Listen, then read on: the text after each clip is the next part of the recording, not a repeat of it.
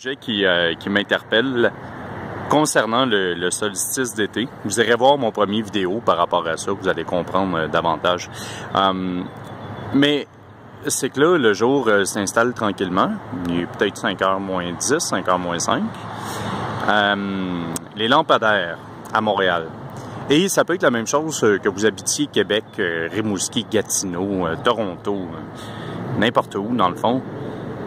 Le, gaspillage économique. En fait, comme le jour s'installe tranquillement, pourrait-on changer euh, le système des lampadaires? Ceux-ci sont réglés de façon X. Pourrait-on les régler de façon Y? Euh, malheureusement, j'ai pas encore de contact avec euh, Denis Coderre. Ça s'en vient, peut-être demain, peut-être après-demain, je sais pas. On, va voir ça. Mais j'aimerais ça que celui-ci puisse régler ça. Un lampadaire comme ça, euh, je parle de l'ampoule dans le lampadaire, ça coûte peut-être pas grand-chose.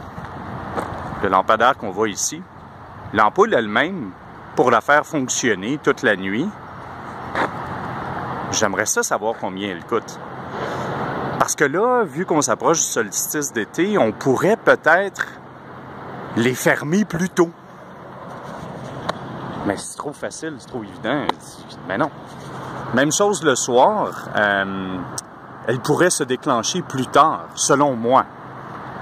Et si on calcule combien coûte une seule ampoule de ces lampadaires, multiplié par le nombre incroyable, le nombre, pardon, incroyable de lampadaires qu'il y a sur toute l'île de Montréal, ou dans votre ville, à Québec, Toronto, euh, peu importe où, on pourrait faire des économies substantielles. Ça, pourrait être de très, très bonnes économies. Alors, euh, puis ça pourrait coûter moins cher aux contribuables, moins cher à la ville. Je sais qu'avec toute la corruption, peu importe si on va économiser, ils vont mettre euh, l'argent peut-être ailleurs, mais au moins, au moins, ce serait une façon de voir les choses. Ce serait une façon différente de faire les choses. 2016. Alors, euh, le jour s'installe, il fait clair. Là. Ben, il fait pas clair autant qu'à 8 heures le matin avec le gros soleil. Parce qu'on voit que c'est nuageux, mais même encore là, on serait capable de voir, on serait capable de traverser la rue et de se promener en voiture sans qu'il y ait la nécessité d'avoir de l'éclairage de ces lampadaires. S'il y a une raison X, Y, Z au fait que ces lampadaires se doivent d'être encore allumés, s'il vous plaît, pardonnez mon ignorance, mais euh, dites-moi quelle en est la raison ou les raisons. Ben, sinon, je vois pas pourquoi que ces lampadaires sont toujours allumés à cette heure-ci. Même chose le soir. Euh, ça se déclenche beaucoup trop tôt. Il fait clair et ça se déclenche.